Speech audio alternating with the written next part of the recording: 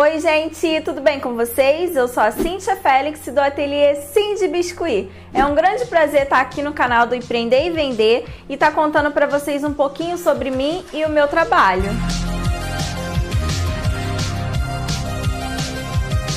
Comecei a trabalhar no Rio de Janeiro, onde eu conheci essa massinha mágica que dá pra gente fazer várias coisas, né?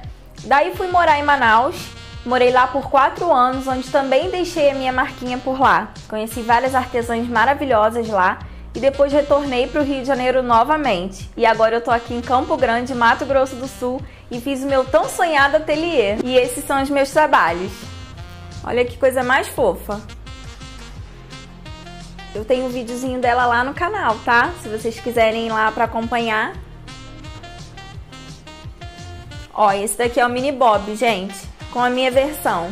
Também tem um videozinho dele lá no canal. E essa daqui é a minha joaninha preferida.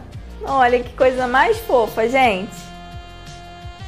Se vocês quiserem acompanhar mais um pouquinho do meu trabalho, eu vou estar deixando as minhas redes sociais para vocês acompanharem, tá, gente? Beijos!